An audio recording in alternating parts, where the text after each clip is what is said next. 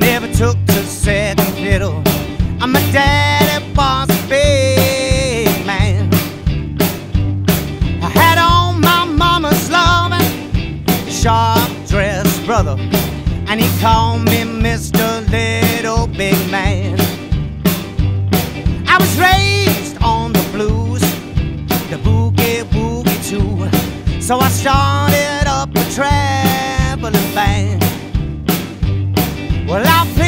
chicken wire. I set a bar on fire. Wanna fight? Use an old